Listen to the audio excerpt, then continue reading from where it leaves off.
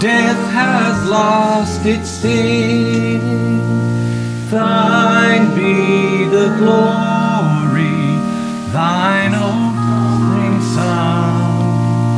Endless is thy victory, thou, O death, has won.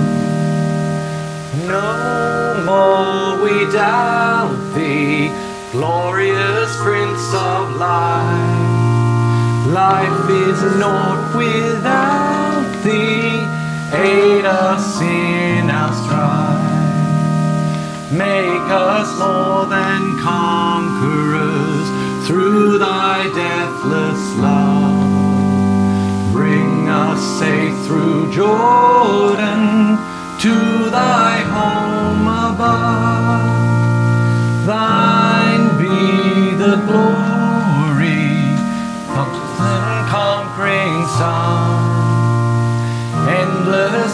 thy victory, thou, O death, hast won.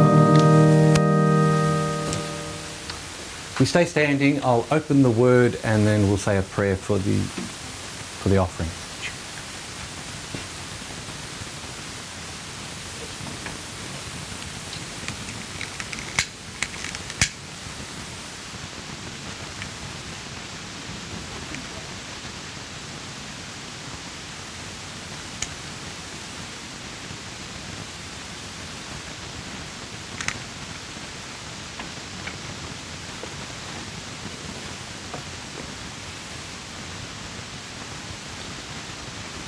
Lord Jesus Christ, you are the Word of God made flesh. Your Word is a lamp unto our feet and a light unto our path.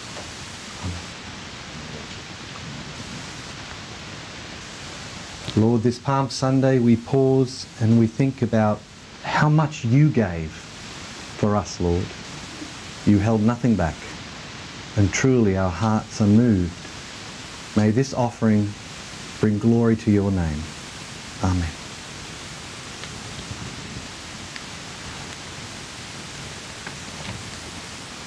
And let's say the Lord's Prayer.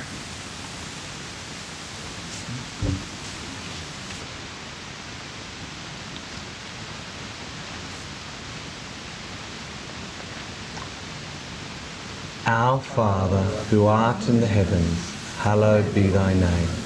Thy kingdom come, thy will be done, as in heaven, so upon the earth. Give us this day our daily bread, and forgive us our debts, as we also forgive our debtors. And lead us not into temptation, but deliver us from evil.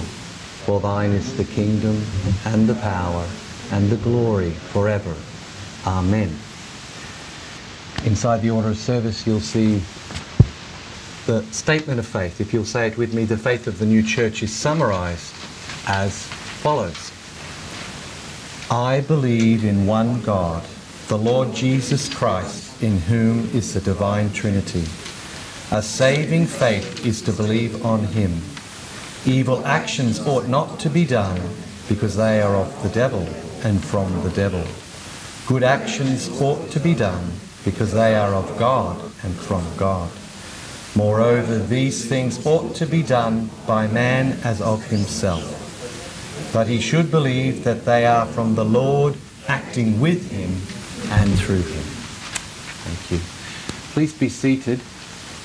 We could have the reading of Scripture today. Paul, if you would you come up for the reading? As Paul comes, take for a moment with me and think about something in sacred text that has challenged you.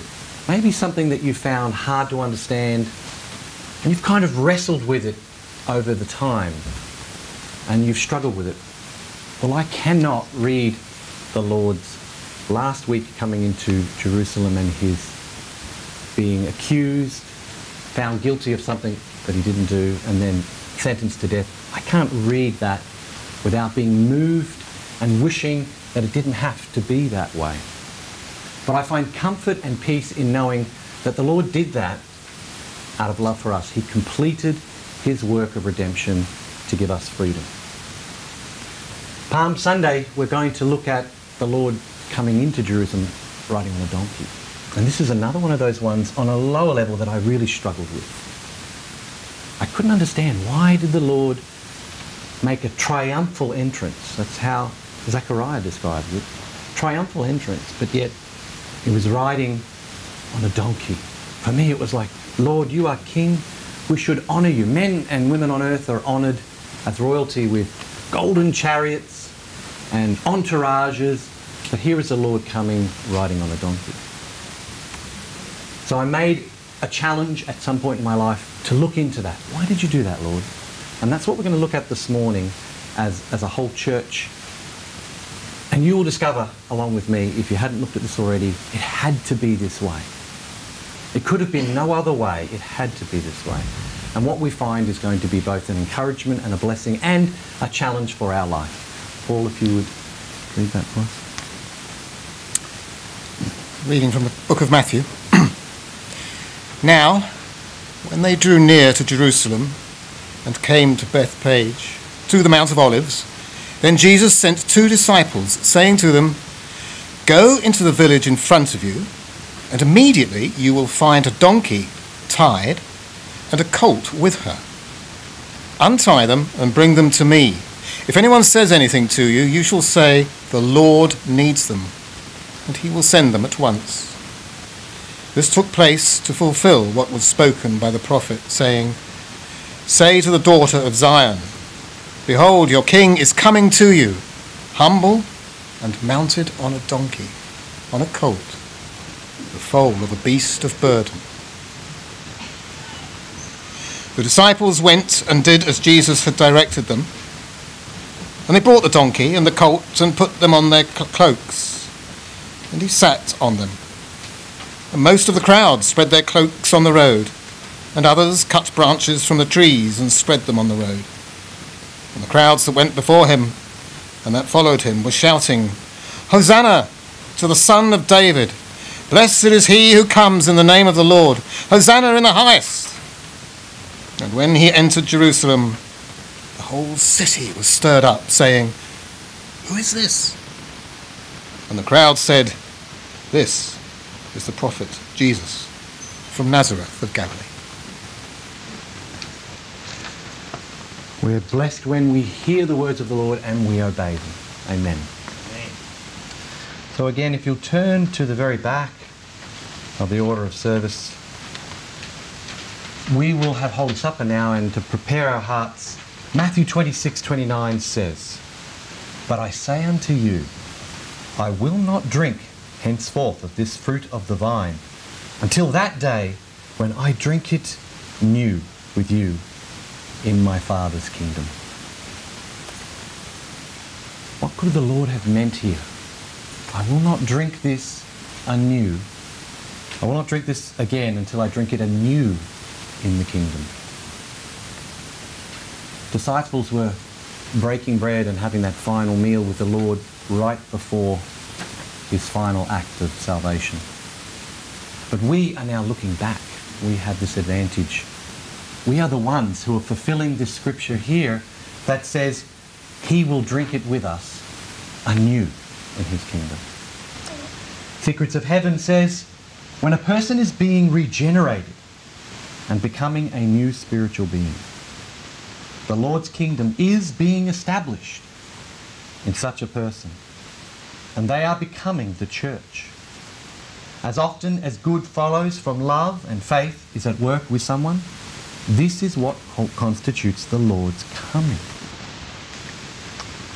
Consequently, the Lord's resurrection on the third day, the third morning, embodies the truth that the Lord rises daily.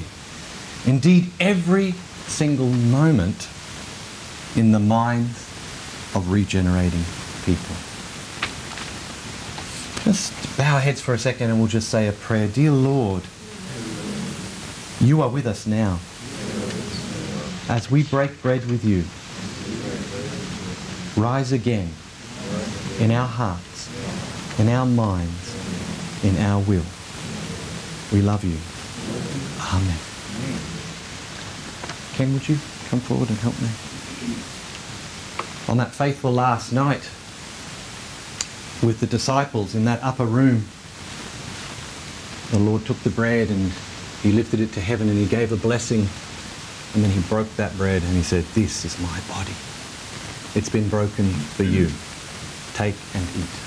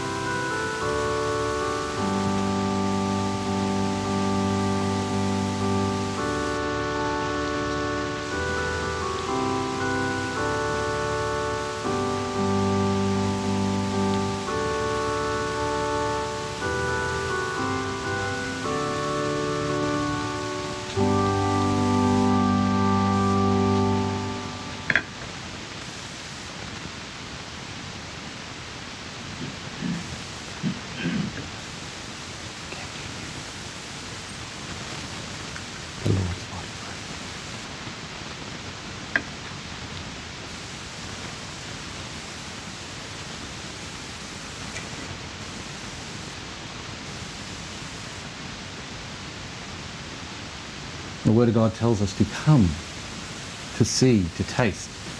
The Lord is good.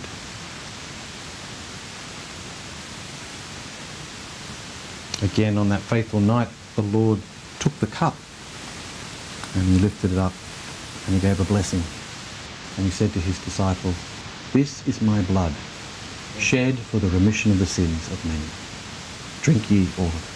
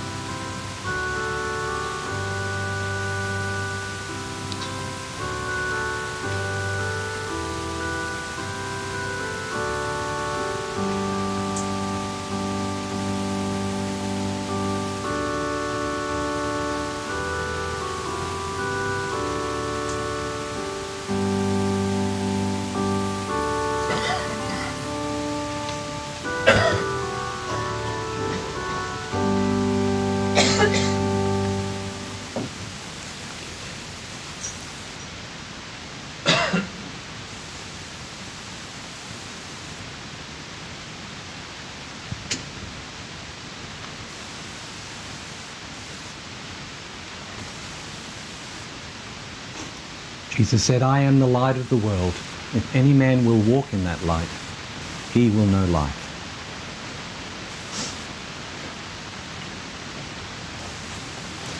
So in the moment, I'll have the rest of the children come to the front.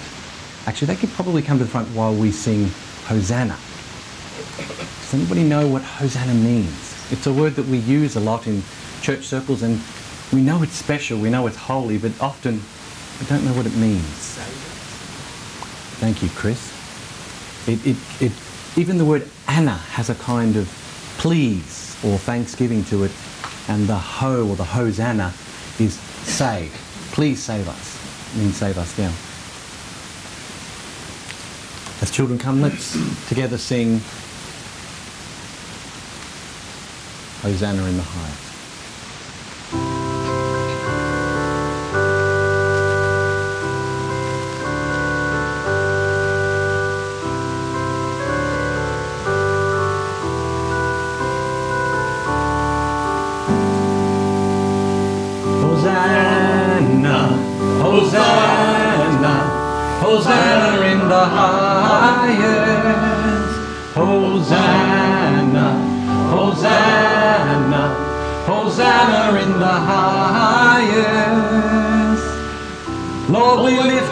Your name with our hearts full of praise. Be exalted, O Lord my God, Hosanna in the highest. Glory, glory, glory to the King of Kings. Glory, glory, glory to the King of Kings. Lord, we lift up your name with our hearts full of praise. Be exalted, O Lord my God. Glory to the King of Kings. Jesus, Jesus, Jesus is the King of Kings. Jesus, Jesus, Jesus is the King of Kings. Lord, we lift up your name with our hearts full of praise. Be exalted, O Lord my God, Hosanna in the highest. Lord, we lift up your name with our hearts full of praise. Be exalted, O Lord my God, glory to the King of Kings. And Palm Sunday, many, many thousands of years ago, the Lord came into Jerusalem. And this is what people were crying out and shouting in the streets, Hosanna. We get the children up the front, most of the children up the front. You, you'll be able to help us, won't you, Shauna? That's great. Come take some palm branches because I want us to, to really think for a moment about all the things that are going on here. Just grab some palm branches there, children. There we go. We, uh, this is what you call um, first century balloons. First century balloons. Do we have enough there? Oh, there we go. Okay. Oh, that's good because we need to give it to Shauna. Now, let's take for a moment. Let's take for a moment. We're back there on those dusty streets at the outskirts of Jerusalem. And here comes the Lord now. He's actually coming into Jerusalem. Open, we open the way for him, open the gates of the city, and we think to ourselves, these dusty, dirty streets, they're not worthy to carry the Lord. What can we do? You know, today we roll out carpets, don't we? Red carpets and things like that. But the people, they took whatever they had, their, their cloaks, the palm branches, and they began to throw them into the streets. So let's throw those into the streets there to make way for the Lord. Just throw them out there like a, like a pathway for the Lord to come through. Come on, let's throw it out there. Someone have your best shot. and in comes the Lord. He's riding on that colt. Do you notice that in Scripture it says that it was a donkey uh, and a colt? And that's because this colt had never been ridden. Never. Now, if you know anything about colts or asses or mules, and there's a little bit of difference. Who can tell me the difference between a mule and a normal ass? A mule is frustrated a horse or a donkey. Wow, come at the front here, Chris. a mule is actually uh, when you breed a donkey with a horse. So there's a little bit of something there in the donkey of the horse. Remember I said to you earlier, why didn't the Lord come riding into Jerusalem on a horse? Does that kind of make sense? I mean, for me, as, as I'd read the scriptures and go, but why not? I mean, even today, people riding in on a white horse has a most powerful significance, doesn't it? We know that someone riding on a white horse is a powerful, victorious leader or king or something like that. In those days, the donkey, though, was a very special royal creature. We call it a beast of burden, but it was, uh, as I heard recently, a donkey, for its size and weight, is stronger than any horse. But they're quite a calm creature too. I mean, if something's going, lots of noises going on, and people are shouting Hosanna and getting carried away, the donkey's just going to walk straight through the middle of it and not be disturbed. Not so with a great stallion. Unless a great stallion's been trained carefully, it will run. It will take off. Donkeys are very, very loyal as well, extremely loyal. They connect to an owner, a master, and they become very loyal to that master. I was only just talking to Russell yesterday, and he was telling me this story. I hadn't heard this. I thought it was a great story. He was hearing, he heard the story about a family who took their children for a walk through a, a forest sort of area, and they actually hired a donkey to carry their youngest child on the long walk with them. They thought that'd be a great idea. Little did they know how significant that was going to be. Because as they went further into, the, into this venture walk, they started spotting a mountain lion at a distance, tracking them. And it got closer, and it got closer, and it got closer, and then something phenomenal happened. They took their child and began to sort of cower. This donkey turned and attacked the mountain lion. It is so powerful a creature with its back legs and biting that it killed the mountain lion and saved these people's lives. There's this kind of loyalty this donkey has as it's taking the master and carrying it on its back. So here we read today, the crowd were throwing their cloaks and they were throwing their branches on the ground. And in our heart right now today, just after me, dear Lord, you live in my heart.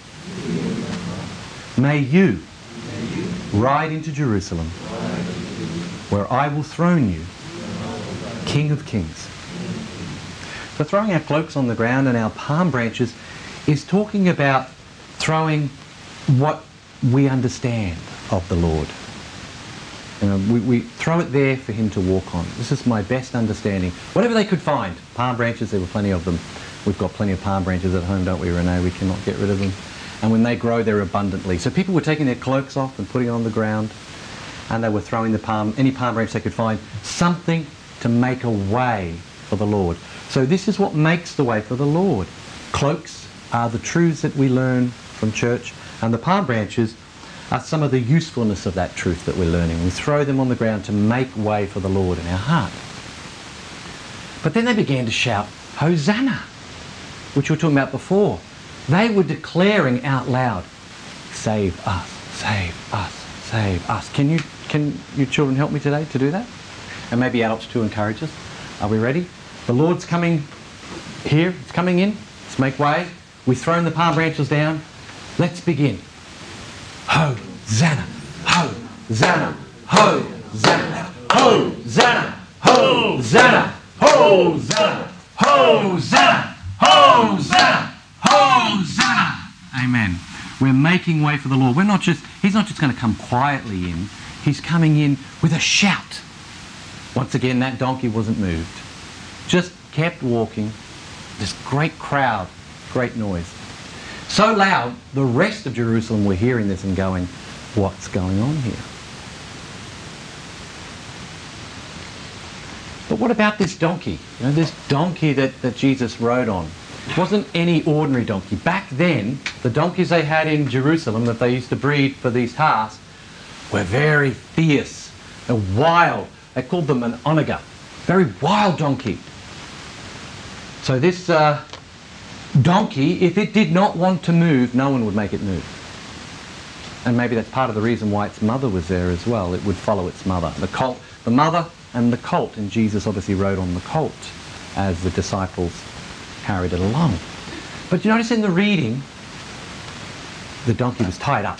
He'd been tied up, never ridden, tied up. So I have to get some helpers here. Would you, would, would you give me a hand?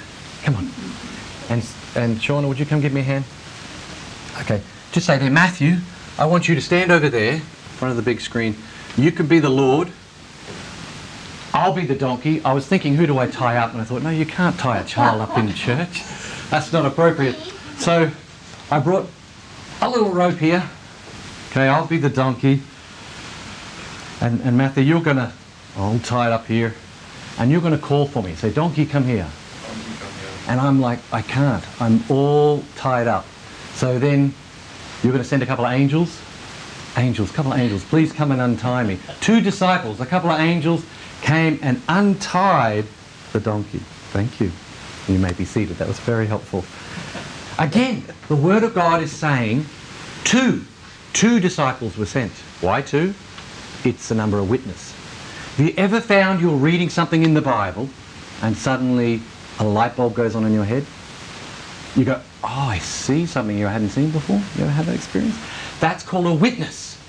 Two. So you are all tied up at your life at times, and then the Lord, through His Word, is coming along and saying, I need you.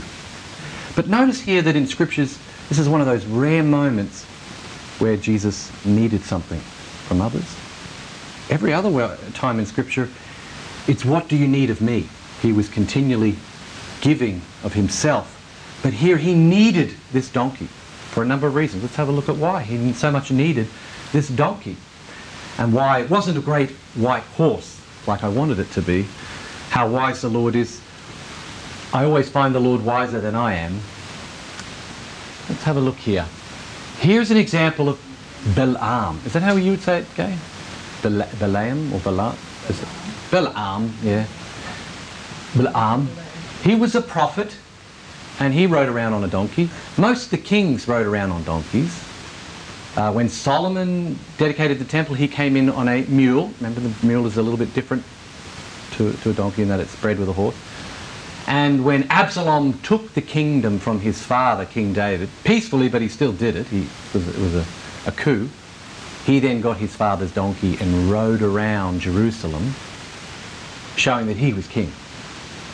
So these people understood the symbolism of someone riding in to Jerusalem on a donkey. Here is Balaam riding on a donkey, and he's a prophet, so angels talk to him, but in this case he couldn't see the angel, but the donkey could. How often is it that I understand what I should do, but my heart's still not in it? I'm still not doing what I should. Isn't that true? And we find sometimes we know we should do something. Even the donkey knows there's an angel there, but Balaam is so blind. Now this is when a miracle happens, because see, this donkey is going to protect his master, even though his master's beating him. You stupid donkey, move, move. Nope, donkey would not move. And then the Lord gives the donkey the ability to turn and speak to Balaam. And he says, I've never mistreated you. All these years I've served you. Well, you beat me. Right now there's an angel in front of us and he will kill us. His sword is drawn. And Balaam gets very humble at that moment and realizes his mistake. What about some other stories? Can we think of any other stories in the Bible where donkeys are used? Famous, famous, pretty, pretty famous stories. What was that one? We're all big kids here. You're allowed to throw it out. Sarah, what was the story? On the what? Oh, the donkey spoke. Yeah, yeah, the donkey spoke.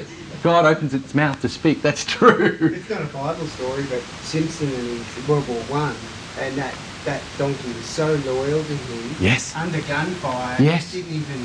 Flee- It, it, it saved hundreds of men. That donkey. Because it didn't flinch. Mm. Isn't that incredible? It stayed where he was. Yeah. Wait till you discover what this donkey is. Hmm. this stubborn, fierce beast of burden that is willing to carry the Lord. But here is Mary. I mean, so it's kind of a, it closes the loop, doesn't it? There's Jesus riding on a donkey right there, but he's still in mum's tummy, isn't he? He's riding there. and of course, Joseph doesn't look too happy because he doesn't get a donkey. He's just got to, he's got to walk the whole way. She's getting, you know, of course, she couldn't walk that walk. So, the, the, but look at Mary. She's looking down at the shepherd, the shepherd boy, and she's kind of imagining, will my son be a shepherd? Oh, he will be the, the, the chief of all shepherds. Another story in the Bible. oh, actually, this is where Jesus says, Truly I say to you, whosoever shall not receive the kingdom of God as a little child, he shall not enter therein. So you children today have an advantage over us adults, isn't it? They really do. The kingdom of God is open to you. It's very easy to come in. As adults, we must learn to return to being a child if we want to come in. What could that possibly mean? What is the Lord getting at here? Why do we have to be like the child to come into the kingdom of heaven? What is it about children that we sometimes lack as adults? Beautiful. Wisdom and innocence. Oh, the two married together. both are perfect. The wisdom of the child is to say, I trust you, mum, dad, and I will follow your instructions. That's the wisdom of the child. And it's the innocence of the child as well, because innocence actually means I want to be led by you. So then think about us adults. We've worked hard to not be led around by adults anymore, and we want to rule our own lives and have our own choices and decisions. But Jesus says, okay, but if you want to come into the kingdom, you must relearn this willingness to be led. Okay, the, the donkey's untied, and it's willing to be led. Now, I can't, I mean, this is a legend. So, but this is one of those donkeys, it's quite common. And the legend says that this particular don donkey is the lineage or the, or the species, I suppose would be the right word, genie species, that, that carried the Lord. And the legend goes like this. The donkey was very sensitive. It never, the colt had never ridden let anyone ride on its back, and when the Lord got on its back, there was an immediate connection, and this donkey sensed the burden, the great burden the Lord was carrying. And so after they came into Jerusalem, for that week the donkey wouldn't leave. Everywhere the Lord went, the donkey followed him. Even to the point that when eventually the Lord was sentenced to death on Golgotha, there the donkey was up on the hill, standing there, unable to look up at the Lord, horrified at what was happening. But that afternoon, before the sun turned dark, the shadow of the cross fell across the back of this donkey. And the Lord looked down and gave a benediction.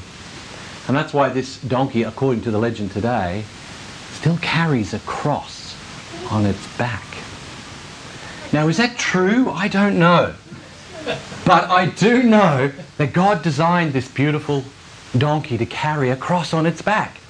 And every Easter we are reintroduced to this story of Jesus riding on a donkey, aren't we? So I think that's magnificent and powerful that it reminds us of the burden it carried, isn't it? The Lord was finishing his great work to redeem us, to free us, so that we could be saved. And there it is, like for the rest of eternity now, carried around on its back. Cross. Incredible. Now, this is more for the children, of course, it's, a, it's, it's an all in service. We have some rather postmodern legends today, like, is it? Shrek. Isn't, it, isn't that? And I just found this funny. Right from the start of Shrek, I thought it's funny that his sidekick was a donkey, not a horse. Donkey. But yeah, a good, faithful servant, but if this thing doesn't want to move, it's not going to move. Now think about your walk with God. That could be you. You could be a good, faithful servant to God, but there could come a time where the Lord calls for you and you might go, not moving. Let that not be so. Say after me, Lord, let me be willing, innocent, humble to carry you. Amen. Yeah. Now, this second Shrek, as I'm bringing it up because I just this made me laugh and laugh in this, they have to regain the love of Fiona. And a spell's been cast on her, so they've got to try and find some way to break the spell, and they end up taking some magic that goes totally wrong. And it turns donkey into this. A white stallion. And I just laughed. I laughed because when we understand what's happening here in this Easter story, the Lord is coming to us riding on this donkey. How is he coming back? Right, riding on the white stallion. And even Shrek gets to play his part. The unregenerate ego, or is that ogre? I don't know, you decide. The unregenerate ego gets to be regenerated, and we're made handsome and beautiful, and we're made in the image of God. So I just laughed at that. I could see what was going on in the subtext of that story, isn't it? Mm. And we make these stories for children, and somehow deep in our heart we know these great archetypes that the Bible's been telling to us year after year after year. The Lord coming and riding on the cross, uh, uh, on a donkey. So there's the Lord coming back. There's two comings here, and we read this morning in Holy Supper how every time, every time we, we are thinking on the Lord and we're loving Him and we're letting Him change us, He is coming again inside us, isn't He? It's the white horse, not the donkey. So something's going on here. We want to get to it. Let's have a look here. We can read here in sacred, oh, we can read it in Isaiah 53. Who has believed our report? And to whom is the arm of the Lord revealed? Everyone say, to me. To me. Amen. What does he mean? He means that people had the prophecy of Isaiah and they didn't know what it meant. They had no idea that Jesus was going to come as a suffering servant. Who here wants to suffer? Amen. Every hand should go up. Now every hand should go up because did Jesus did Jesus suffer poverty? Not one bit. Everything that was needed for the mission was always provided. Amen? He didn't suffer poverty. Did Jesus suffer sickness? No, he went around healing the sick. And if we're ever sick, there's power in Jesus to heal us. Did Jesus suffer the rejection of uh, family and friends? No. I mean, there were times, but no, he had around him disciples. He did suffer the rejection of the world, and so should we, isn't it? If we're actually following the Lord, there'll be times where the world will be shouting, Yes, Hosanna, yes. And there'll be other times they'll be shouting at you. It's just how it is. So we are called to suffer with the Lord, but here's how we are to suffer. In that we be humble. That we be willing to be led. That we be willing to serve others. That's it. That's the suffering the Lord has called you to. That's what this story of Easter is telling us. Come humbly. Not waging war, come humbly looking to serve people. That's the burden that the Lord wants us to carry. He says, Cast all your troubles onto me. Give me all your troubles, Matthew. All of them. No, that's too many, Darren. No, they're not. Give them all to Jesus, Matthew. All of them. And Jesus says, I'm going to give you my burden back. But I'm humble and I'm meek and my burden is light. And that's the burden that he asks of us, is that we just love each other. Really. When you start to do this, you find it's not only easy, it is the best life. Outwardly, yes, I'm a donkey. I'm a beast of burden. Inwardly, I'm carrying the glory of God. Carrying the glory of God. How? On a white horse? No, on a humble, faithful donkey. It goes on to say, Isaiah, He is despised and rejected of men, a man of sorrows, and acquainted with grief. What was his grief? our fallen state. That was his grief. And we hid, as it were, our faces from him. We despised him. We esteemed him not. Here's what Secrets of Heaven, oh no, there's Zechariah, sorry, Zechariah 9 9 says, Behold, Jerusalem of Zion, the king comes to you meek and lowly, riding on a donkey. And it's not the donkey that is meek and lowly, although we should be meek and lowly. It's the Lord. He's coming with this purpose to save us. He's coming. When we read about his second coming, he's coming to vanquish our foes there. That's the time to vanquish the foes, to get, to get rid of the enemy. But here, it's such a beautiful, gentle, I'm coming to save you. And again, the secrets of heaven. Oh no, sorry, I, I, must, I must talk about this, that's right. This is probably the strongest Old Testament story we have that links to Jesus coming into Jerusalem. It's Abraham taking his son on an ass with cut wood. He's being tested by God. Who can remember what the test was? Remember this terrible test? Yeah, yeah, yeah. The, the adults are shaking their head because we, we just can't fathom such a test. Can, do none of the children know the test that was happened? God says to Abraham, Abraham, I've given you this beautiful son. Now take him up to the mountain I show you, and there I want you to sacrifice him. You're like, what? It's a test. God wasn't serious. It wasn't actually seriously asking Abraham to sacrifice uh, Isaac. We don't know that till the end, because when they get there, and even Isaac saying, "Dad, all this wood that you've cut for a sacrifice, we didn't bring a ram. Don't worry, son. God will provide." Wow, this is a very gripping story, isn't it? Because this is the story. Here is Jesus riding into Jerusalem right there. Who is Jesus? He is the Father in human form. His very soul is Jehovah. But he has his form that we call the Son of God that's riding into Jerusalem to finish his work, to, to finish, to face his final enemy, death. So in the morning, Abraham rose up early and saddled his ass, and he took two of his servants with him and Isaac his son, and he split pieces of wood for the burnt offering, and they rose up and went to the place which God had told them. Here's what we learn when we read Swedenborg. What Swedenborg has to say about this. He says, and saddled his ass means the natural man which he prepared. This is clear from the meaning of an ass dealt with elsewhere. So we're being told here in Secrets of Heaven, the ass that Jesus rode represents his whole life he was preparing his natural man to fight every of our enemies, including death, and overcome them. Now, let's think about this for us. What, what's happening here? Today, this is still happening. Jesus is riding into your hearts this morning. So, who is this donkey that's going to carry him in your heart? Jesus is saying to us today prepare your natural man. This earthly life cannot be compared to the glory of the resurrection. We are going to receive resurrected bodies that will never die. There's your white stallion, right there. But to become the white stallion that can carry the Lord, first we have to prepare our natural man, isn't it? First we must be willing to carry the Lord in this life. And what is it that we're carrying? A simple, his simple instructions to love each other. Matthew, do well. You know, do well. Study hard. Do well, mate. You know, that's that's love. Jesus wants us to love each other.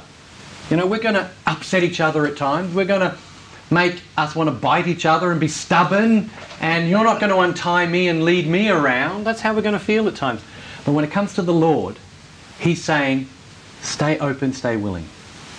Let, let there be somewhere in your heart where you can carry me in this world, carry my will around in this world. Amen? Yes. Okay. Okay, so we've talked about the fact that when we are humble and when we're innocent, we are being the donkey that's carrying the Lord. Say after me, Dear Lord, teach me how to carry your will into this world. Amen. It's a light burden, but that's what we're here for. To do if we do this, we can also become the white stallion. Right? This is this is the, the destiny of God. In the first coming, I live humbly and serve. In the second coming, the Lord has promised my enemies, all my enemies, which are selfishness and sin, will be driven out. Amen. So we're coming to the close here, but here's a final reading from Secrets of Heaven, which just really, I find, is very moving. It's very telling, and it helps us be humble. Let's read this together. It says, As regarding truth purified from all falsity, it should be recognized pure truth cannot exist, cannot reside with anyone. Can any of us say we've really got the truth? No. It's, not, it's just not possible. We're all carrying various ideas of who the Lord is and what He wants of us. None of us can have absolute truth. Right? In fact, my ego doesn't want the truth. It wants to confirm exactly what it wants to get what it wants. Right? But he goes on to say it cannot be both because falsity, uh, falsity issues constantly from the evil present and firmly fixed within us, and because truths are interconnected. Therefore, if one falsity is present, worse still, if a number are present, the actual truths remaining are consequently defiled and something of falsity is in them. Children, do you do you think you have some strange, strange, uh, some ideas about God you're not sure about? Is that would that be fair to say? There's some things about God you still don't understand. Yeah, I think I do. I'm still learning. I'm still growing. What about us adults? Do, do, can we admit that maybe we, we get some things wrong? We have some false ideas about God? But it goes on to say, truth is said to be purified from falsity when a person can be preserved by the Lord in the good of innocence. There's our, there we are, being the donkey, carrying the Lord right there. If we'll let the Lord lead us and show us how to carry his will, it goes on to say, innocent consists in acknowledging nothing but evil resides in oneself, and that any good comes in from the Lord, and also in believing that one neither knows nor perceives anything, including the truth of faith, if left to oneself only without the Lord's help. So I, I might regularly wake up in the middle of the night and I'll sense something of the Lord's presence and I'll pull back.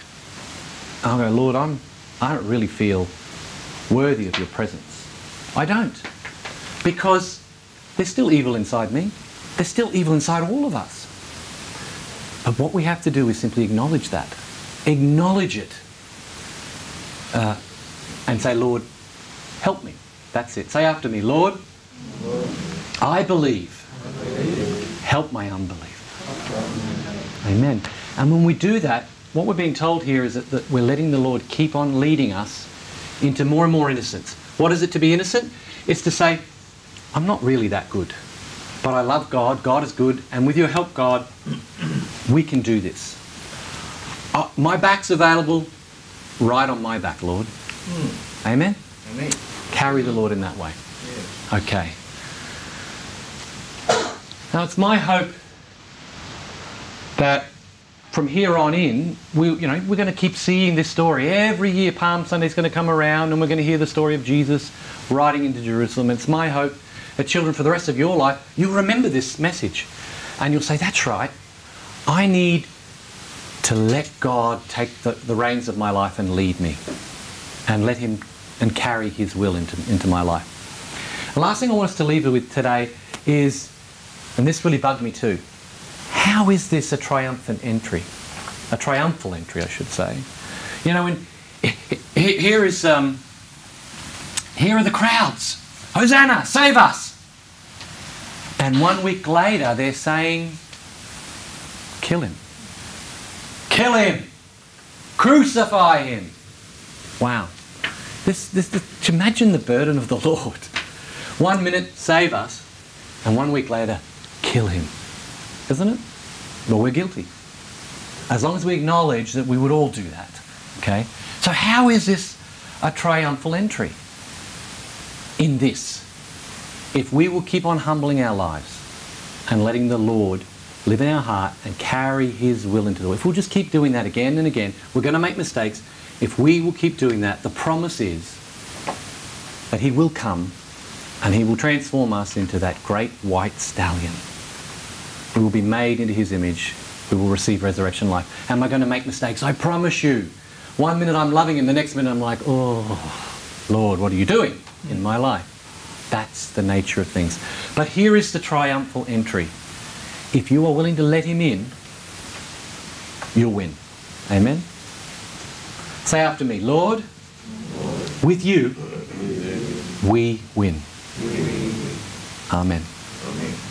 So this Easter, as we go forth, we have a new we have this uh, assignment for us. Let's have a quick look at the takeaway we, it's our need to humble and lower this, this body of mine, this earthly self I have, and to nurture innocence in my life daily.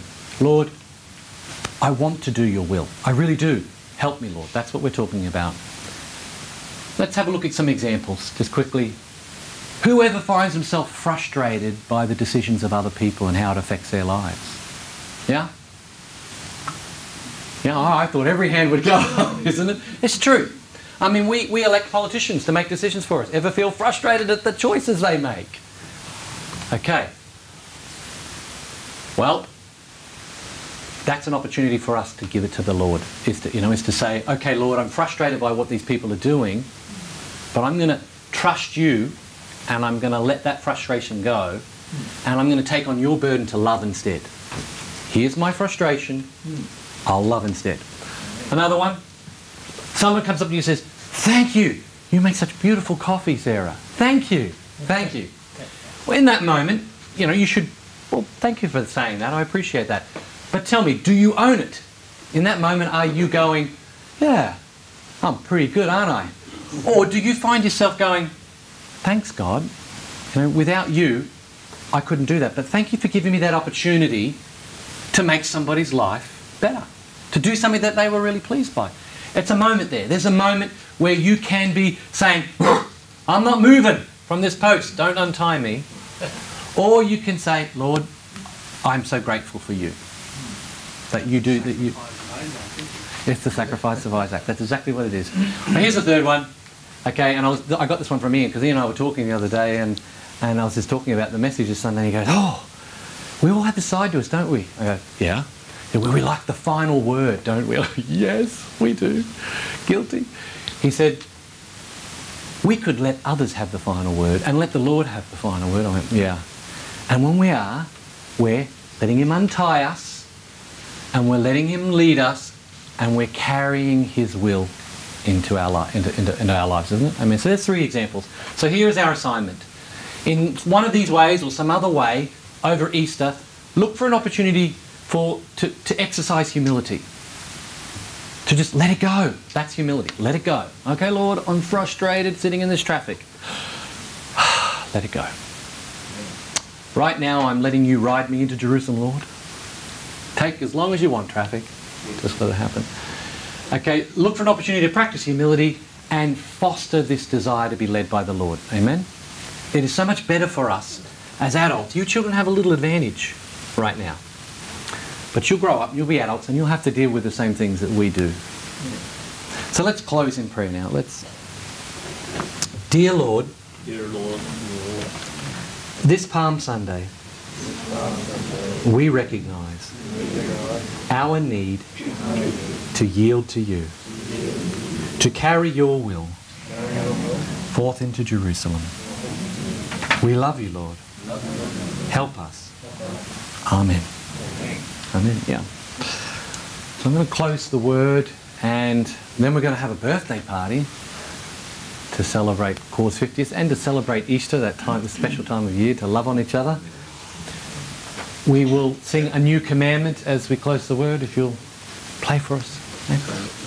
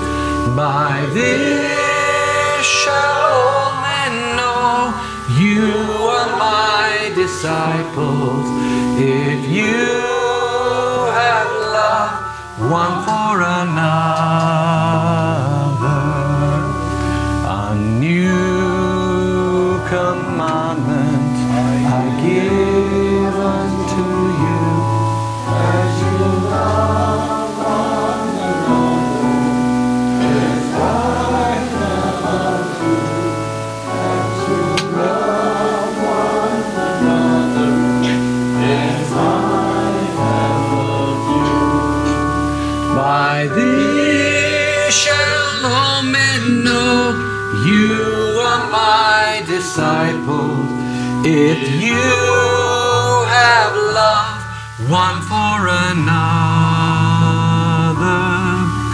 By this shall all men know you are my disciples. If you have love one for another. Dear Lord, the burdens of this life can seem so much. They overwhelm us at times, and we can feel lost and alone and struggling. But when our heart is returned back to you, we find hope and love. We find a light burden, Lord. All you require of us is that we humbly love each other and acknowledge you as the source. This Easter, Lord, may we fulfill that will. The Lord bless you. The Lord keep you. The Lord make his face shine upon you and be gracious unto you. The Lord lift up his countenance upon you and grant you his everlasting peace. Amen.